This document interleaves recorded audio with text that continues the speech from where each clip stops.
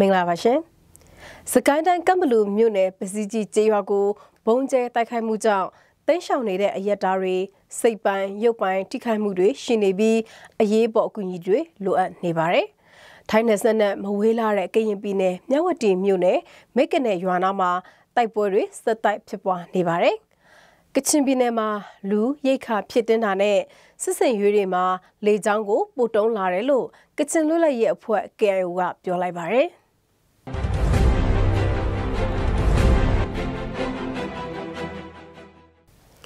စကိုင်းတိုင်းကမလူမြို့နယ်ပစီကြီးရွာလေကြောင်းကနေတိုက်ခိုက်ခံရပြီးတဲ့နောက်ဘေးလွရာကိုစစ်ပေးတင်းရှောင်နေကြရတဲ့ဒေသခံပြည်သူတွေဟာအခုဆိုရင်စိတ်ပိုင်းရောရုပ်ပိုင်းပါထိခိုက်ပြီးအရေးပေါ်အကူအညီတွေလည်းလိုအပ်နေပါတယ်အသေးစိတ်ကိုတော့အကိုက်ကတင်ဆက်ပေးထားပါတယ်။ ကမ်ဘလူမြို့နယ်ပစီကြီးကျေးရွာလေးချောင်းတက်ခတ်ခံရမှုအပြီးတပတ်ကျော်လာတဲ့အချိန်ထိရွာသေးကိုပြန်မနေရေးကြပဲအားလုံးဟာတောတောင်ချင်းမှာနေနေကြတယ်လို့အကူကြီးကေစေရေးလုပ်နေသူတွေကပြောပါတယ်။မြေပြင်မှာရှိနေတဲ့အရေးပေါ်တုံ့ပြန်ရေးနဲ့ကူညီကေစေရေးကော်မတီယာယီကပစီကြီးရွာအပြင်အနီးအနားရွာတွေကစစ်ပေးရှောင်ပြည်သူတွေနဲ့အခြေအနေတွေပတ်သက်ပြီးအခုလိုပြောပါတယ်။ လက်တလောစပွေးဆောင်တဲ့အခြေအနေများကတော့ကျွန်တော်တို့ဘယ်လောက်ထိစိုးဝါးနေလဲဆိုရင်ကျွန်တော်တို့ဒီအိမ်ဒီပေါ်လည်းမနေရဘူးတောထဲမှာပဲတစ်ပင်အောက်ဒီမှာပဲနေကြတယ်ကျွန်တော်တို့ကူညီကြတဲ့သွားတော့မှတိတ်ကိုတွေးဖို့ကတော်လေးကိုသူတို့ကြောက်ရွံ့နေကြတယ်ပေါ့နော်ထိတ်လန့်နေကြတယ်တချို့ဆိုရင်ဒီဖြစ်ရကြီးမြင်ပြီးတော့ဟိုကိုကိုကိုတက်သေး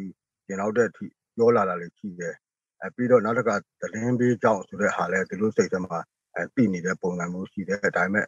အခုကတော်တော်လေးကိုထိတ်လန့်တုန်လို့နေတဲ့ကြော်သားတွေရှိပါတယ် ပစီကြီးရွာလေးကျောင်းကနေတက်ခတ်ခံပြီးနောက်ပြည်သူ400ခန့်ကတောတော်တွေချင်းနေနေကြပြီးတချို့ကလေးတွေဆိုဆိုင်ကယ်တန်ကိုကြောက်ရွံ့နေကြတယ်လို့ဦးမင်းတစ်ကပြောပါရယ်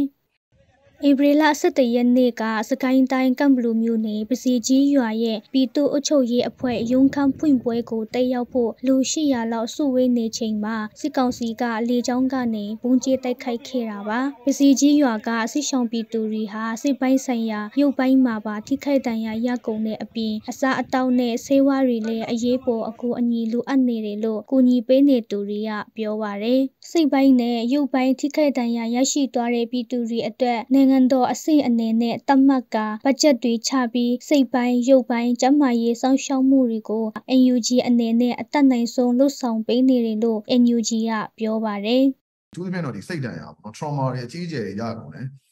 trauma ကြီးကျယ်ရကုန်တယ်ခုနကတမိသားစုလုံးမှာတယောက်တည်းကြံခဲ့တော့တဲ့အနေအထားမျိုးတွေမှာမိမိကိုယ်ကိုတတ်သိစေတဲ့အနေအထားမျိုးတွေနောက်ပြီးတော့ဘလို့မှနောက်တစ်ခါလာပြစ်လို့ရတော့ငါတို့လမ်းပေါ်ထပ်ပြီးတော့ပြစ်ခံလိုက်တော့မယ်ဆိုတော့မနေချင်တော့ဘူးပေါ့နော်ဒီလိုအနေအထားမျိုးတွေနဲ့တော်တော်လေးကိုကြီးမားတဲ့စိတ်ဒဏ်ရာတွေ ဒါရရှိနေတဲ့အခြေအနေဖြစ်တဲ့အတွက်ကြောင့်မို့ဒါတွေကိုလည်းပဲဒါနှစ်သိမ့်ဆွေးနွေးတဲ့အစီအစဉ်တွေပေါ့နော်ဒါတွေကိုကျွန်တော်တို့ဆက်လုပ်နေပါတယ်ပစီကြီးရွာလေရင်ကနေတိုက်ခိုက်မှုကြောင့်လူပေါင်း168ယောက်တေဆုံးခဲ့ရပြီးအဲ့ဒီချိန်မှာအသက်18နှစ်အောက်ကလေးအယောက်40အချိပါတယ်လို့အမျိုးသားညီညွတ်ရေးအစိုးရ NUG ကတေဆုံးသူတွေရဲ့နာမည်စာရင်းတွေနဲ့တကွထုတ်ပြန်ချပါတယ်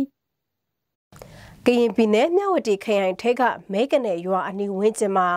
စစ်ကောင်စီတပ်နဲ့ကရင်တော်လှန်ရေးပူးပေါင်းတပ်ဖွဲ့တွေအကြားတိုက်ပွဲတွေဆက်တိုက်ဖြစ်ပွားနေပြီးစစ်ကောင်စီတပ်ဖက်ကလေကြောင်းအုံပြုမှုတွေရှိနေပါတယ်။ AP လဆန်းကနေ AP 20ရက်နေ့အထိတိုက်ပွဲတွေရက်လိုက်ဖြစ်လိုက်နဲ့ဖြစ်ပွားနေပြီး AP 18ရက်နေ့ကနေ20ရက်နေ့အထိတိုက်ပွဲတွေပြင်းပြင်းထန်ထန်ဆက်တိုက်ဖြစ်ပွားနေတယ်လို့ဒေတာခန်တွေကပြောပါတယ်။ AP 20ရက်နေ့မှာစစ်ကောင်စီဘက်ကလေကြောင်းနဲ့တစ်ကတ်တာတွေရှိသလိုပုံကျဲတံတွေလည်းကြားနေရပြီးစစ်ကောင်စီတပ်က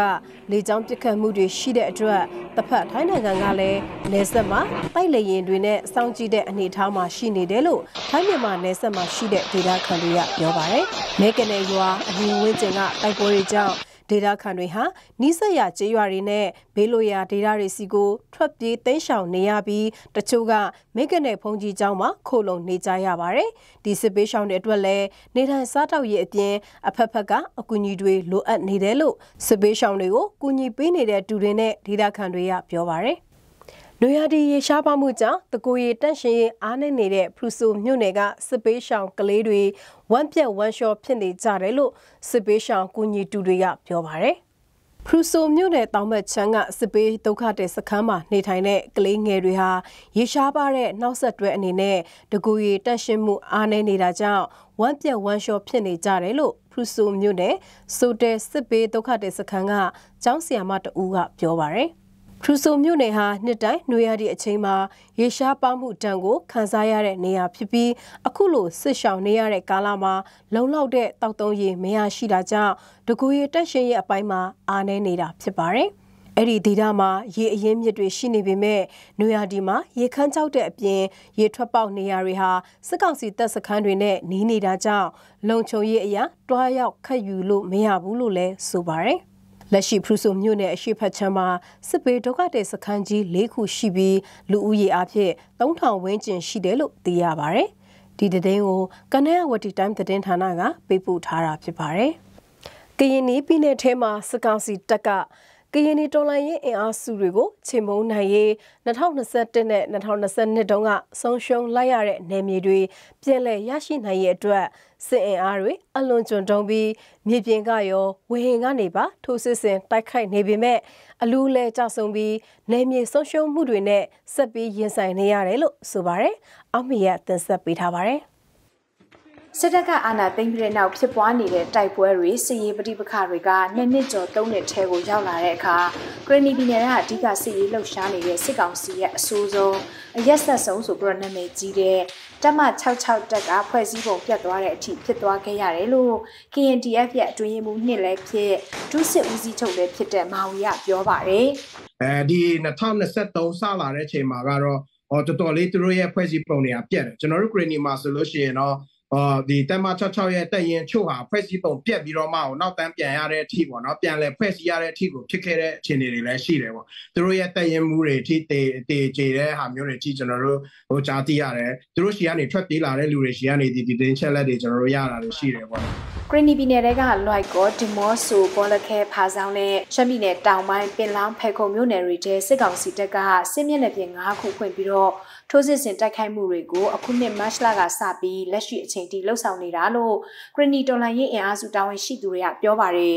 ဒီမော့ဆိုမြို့နယ်အရှိဘက်ခြမ်းကိုလွိုက်ကော်နဲ့ဘောလခဲမြို့နယ်တွေဘက်ကနေနှစ်ဖက်ညှက်ပြီးအပြင်းထန်ထိုးစစ်ဆင်နေတာလို့လည်းဆိုပါတယ်။2021ခုနှစ်နဲ့2022ခုနှစ်နှစ်နှစ်တာကာလအတွင်းဂရီနီတော်လန်ရေးအင်အားစုတွေကစစ်ကောင်စီရဲ့တပ်မ66တရင်ကိုအကောင်းဆုံးရင်ဆိုင်နိုင်ခဲ့တာကြောင့်အခုလိုမျိုးအနေအထားတွေကိုရောက်လာတာလို့ဆက်ပြောပါတယ်။ စစ်အာဏာသိမ်းပြီးတဲ့နောက်နှစ်နှစ်ကျော်ကြာလာတဲ့အခါမှာတော့ဂရီနီပြည်နယ်ကနေမြေ60ရာခိုင်နှုန်းကိုဂရီနီတော်လှန်ရေးအင်အားစုတွေကထိန်းချုပ်ထားနိုင်ပြီးစစ်ကောင်စီတပ်ကတော့မြို့တွင်းအနီးဝန်းကျင်က20ရာခိုင်နှုန်းကိုပဲထိန်းချုပ်ထားနိုင်တယ်လို့ KNDF ရဲ့ဥက္ကဋ္ဌလည်းဖြစ်ဂရီနီပြည်နယ်အုပ်ချုပ်ရေးကောင်စီရဲ့ဒုဥက္ကဋ္ဌလည်းဖြစ်တဲ့ခွန်ပီထူးကပြောပါတယ်ကျွန်တော်တို့ကမြေရဲ့60ရာခိုင်နှုန်းကိုထိန်းချုပ်ထားတဲ့ဟာပေါ့နော် စစ်ကောင်စီကမြို့တွင်းပေါ့နော်မြို့တွင်းဆိုတာက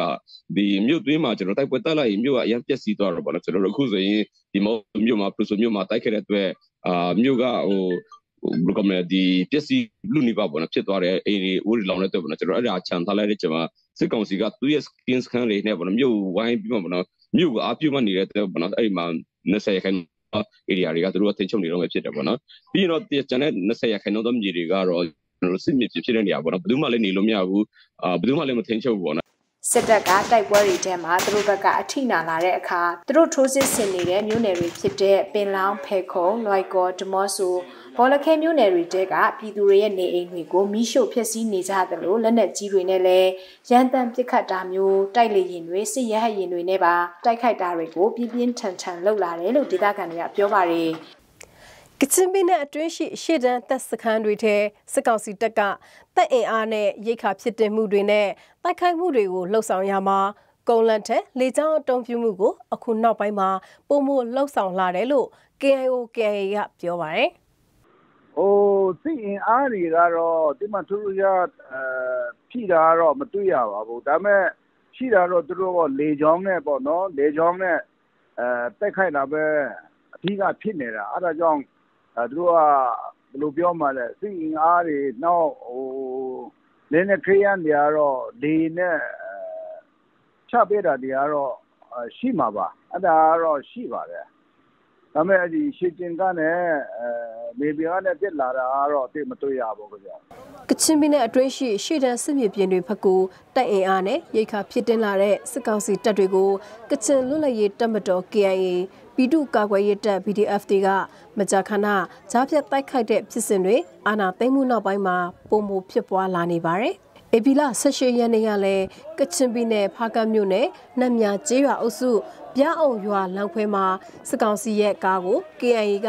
မိုင်းဆွဲတိုက်ခိုက်ခဲ့တာကြောင့်၄ယောက်သေဆုံးပြီးအယောက်20လောက်ထိခိုက်ဒဏ်ရာရရှိခဲ့တယ်လို့ KIO KIA ကဆိုပါတယ်။ ကြားပြတ်တိုက်ခိုက်ခံရမှုတွေကြောင့်စစ်ကောင်စီဘက်ကတပ်ဖွဲ့ဝင်တွေထိခိုက်သေးဆုံးဒဏ်ရာရရှိမှုတွေပုံမများလာတဲ့အပြင်အရင်ကထပ်ပိုပြီးအထိနာလာတဲ့အတွက်ကုန်းလန်းထက်လေကြောင်းကိုစစ်ကောင်စီတပ်ကပိုပြီးအတုံးပြလာတာဖြစ်တယ်လို့ဆိုပါတယ်။ဒါအပြင်စစ်တပ်က တပ်အင်အားဖြစ်တင်မှုတွေကိုလေကြောင်းကနေပိုပြီးလှုပ်ဆောင်လာတဲ့နီတူတော်လှန်ရေးတပ်ဖွဲ့တွေနဲ့ဖြစ်ပွားနေတဲ့တိုက်ပွဲတွေထဲကြဆုံထိခိုက်မှုများလာရင်လဲလေကြောင်းကနေတစင်တိုက်ခိုက်မှုတွေကိုအခုနောက်ပိုင်းမှာအရင်ကထပ်ပိုပြီးလှုပ်ဆောင်လာတယ်လို့ KNO KNA ကပြောပါတယ်ဒီလိုလှုပ်ဆောင်ရမှာစစ်ရေးပြစ်မှတ်အယက်တာပြစ်မှတ်မခွဲခြားပဲလှုပ်ဆောင်နေတဲ့အတွက် စစ်ရေးပြိပခနယ်မြေအတွင်းမှာရှိတဲ့ပီတူလူထုတွေအနေနဲ့တတိရှိဖို့လိုအပ်တယ်လို့ဗိုလ်မှူးကြီးနော်ဘူကပြောပါတယ်ပီတူလူထုရှိတဲ့နေရာဘက်မှာလည်းရဲချီတို့လေအဲလေကြောင်းကနေလည်းတိုက်တယ်ဒါအခုချိန်မှာတော့ကျွန်တော်တို့တမန်ကလုံးဝတိုက်တာနဲ့ပေါ့နော်အဲဒီပီတူလူထုရှိတဲ့ဘက်မှာလည်းသူတို့ကဘာမှမခွဲခြားဘူးဒီတာကတော့ကျွန်တော်တို့ခဏခဏကြုံတွေ့ရပါတယ်ဒါကြောင့်ပီတူလူထုတွေ အဲတည်သွားတာဒီဒဏ်ရာရတယ်တော့ခဏခဏကြုံရတာပေါ့ပီတူလူထုတွေကလည်းအဲတတိထားဖို့လိုတာပေါ့အမေတန်အဲနာစုစုမှနေဖို့တော့အရေးကြီးတာပေါ့ကချင်ပြည်နယ်မှာပြီးခဲ့တဲ့2022ခုနှစ်အောက်တိုဘာလ26ရက်နေ့ကကချင်လူလက်ရေးအဖွဲ့ KIO KIA ဖွဲ့စည်းတည်ထောင်ခြင်း62နှစ်ပြည့်အထိမ်းအမှတ်ဒေဂီတာဖြိုဖြီပွဲကျင်းပနေချိန်မှာစစ်ကောင်စီတပ်ကလေရင်နဲ့လာရောက်ပုံကျဲတိုက်ခိုက်ခဲ့တဲ့အတွက် KIA တပ်ဖွဲ့ဝင်တွေအမှုပညာရှင်တွေလုပ်ငန်းရှင်တွေနဲ့အယက်တာစုစုပေါင်းလူဦးရေတရားကျော်တည်ဆုံခဲ့ရပါတယ်။